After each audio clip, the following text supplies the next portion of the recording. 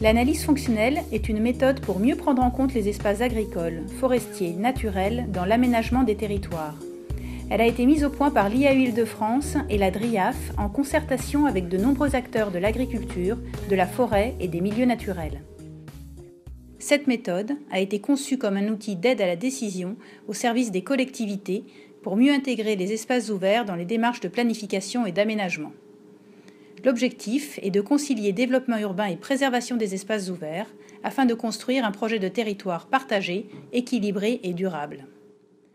Relever ce défi est devenu une des priorités des politiques publiques confortées par les outils législatifs récents.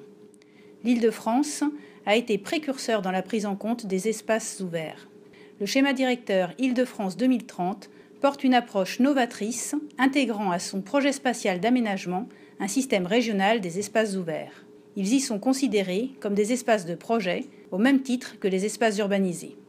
L'analyse fonctionnelle est un outil privilégié de la mise en œuvre du SDRIF au niveau des SCOT, des PLU, de tout projet de territoire. Elle s'articule autour de trois axes. Améliorer la connaissance des espaces ouverts et en particulier de leur fonctionnement, renforcer la sensibilisation des acteurs et des décideurs au rôle de ces espaces, poser les bases de la concertation pour construire un projet partagé. Elle repose sur quatre concepts. Le premier, une analyse de l'ensemble des espaces ouverts, agricoles, forestiers, naturels, espaces ouverts urbains. Le deuxième, l'armature des espaces. On s'intéresse aux espaces agricoles, aux massifs forestiers, aux espaces naturels. On identifie également les liaisons, circulation agricole, tram verte et bleue, qui permettent à ces espaces de fonctionner, l'objectif étant de se focaliser sur l'articulation entre ces espaces, ces liaisons et l'urbanisation. Le troisième, les fonctions assurées par les espaces ouverts, économiques, sociales, environnementales. Le quatrième, les pressions subies par les espaces ouverts, consommation d'espace, fragmentation, altération. Chaque territoire doit s'approprier la méthode et l'adapter. Elle se décline en trois étapes. Un cadrage général pour cerner le territoire, les espaces ouverts et les enjeux, des analyses thématiques agricoles, forestières, naturelles et sur les espaces ouverts urbains en regardant les fonctions économiques, sociales, environnementales portées par ces espaces, une synthèse du fonctionnement global des espaces ouverts sur le territoire afin de guider les actions à mettre en place. Comment se déroulent ces trois grandes étapes? Tout d'abord, le cadrage. Il permet d'appréhender le territoire d'étude à une échelle plus large, de mettre en évidence la trame des espaces ouverts et leurs interactions avec les espaces urbanisés. La deuxième étape, la plus importante, se compose de quatre analyses sur les espaces agricoles, forestiers, naturels, à laquelle il est intéressant d'ajouter une analyse des espaces ouverts urbains. Regardons en détail la démarche pour les espaces agricoles. Les espaces agricoles se caractérisent avant tout par leur fonctionnement économique. L'analyse s'appuie sur l'étude du parcellaire qui permet de juger de la compacité et de la proximité des parcelles, qui sont des atouts, alors que leur morcellement et leur dispersion induisent un surcoût d'exploitation. Ce travail est complété par une étude des circulations agricoles et des équipements structurants. L'objectif est de rendre compte de l'accessibilité aux parcelles et aux principaux équipements agricoles depuis le siège de l'exploitation pour ensuite répertorier les éventuels points de blocage. Un volet social vient poursuivre l'étude en repérant par exemple les qualités des paysages agraires, les lieux de vente à la ferme, les coupures vertes qu'apportent les espaces agricoles. Cette étude est complétée par l'analyse des fonctions environnementales de l'agriculture. Par exemple, les dispositifs de préservation de la biodiversité ou de gestion naturelle des crues. La méthode propose ensuite de se pencher sur les facteurs qui fragilisent l'activité agricole, en particulier les projets d'urbanisation ou d'infrastructure. A contrario, sont également identifiés les outils de protection, directs ou indirects, qui visent à protéger, valoriser et promouvoir l'activité agricole. Ces différentes phases conduisent à l'élaboration d'une synthèse agricole selon un code tricolore. En vert, les espaces agricoles fonctionnels. Les exploitations sont bien structurées et les filières robustes. En orange, les espaces agricoles relativement fonctionnels, mais moins bien structurés, qui peuvent être fragilisés par des projets d'urbanisation. En rouge, les espaces agricoles peu fonctionnels. Ce sont des secteurs particulièrement fragiles et sensibles à la pression foncière.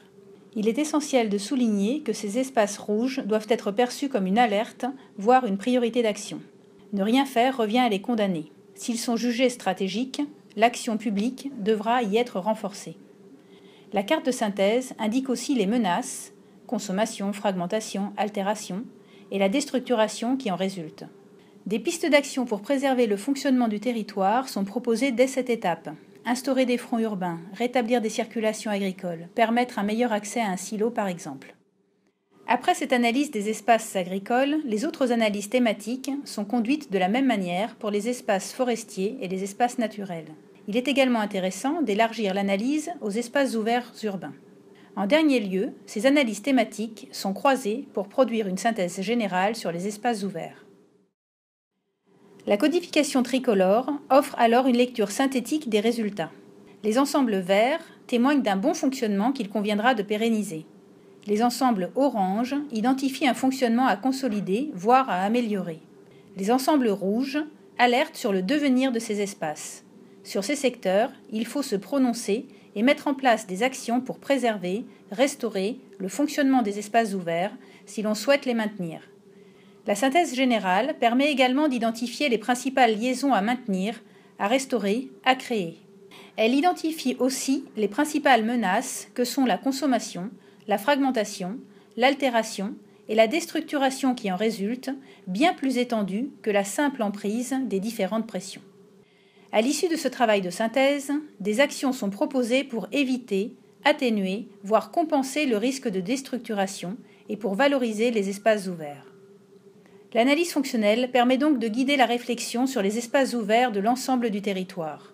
Aux décideurs de se saisir de cet outil pour mieux comprendre l'apport des espaces ouverts et mieux prendre en compte les interactions entre espaces ouverts et projets urbains. L'analyse fonctionnelle permet de faire des choix d'aménagement en connaissance de cause, d'engager en amont une concertation entre les acteurs agricoles, forestiers, des milieux naturels avec les pilotes des projets urbains. Vous êtes élu, technicien d'une commune ou d'une intercommunalité Vous voulez réaliser un SCOT, un PLU, un PPEANP, un PNR ou tout autre projet d'aménagement? L'analyse fonctionnelle est à votre service. Pour vous accompagner, l'ADRIAF, l'IAU Île-de-France, la région peuvent vous apporter des précisions et vous aider à affiner votre projet. La région subventionne ces analyses. Des bureaux d'études, seuls ou le plus souvent en équipe, réalisent des analyses fonctionnelles. Plusieurs analyses ont ainsi déjà été réalisées en Île-de-France. Alors, pourquoi pas vous?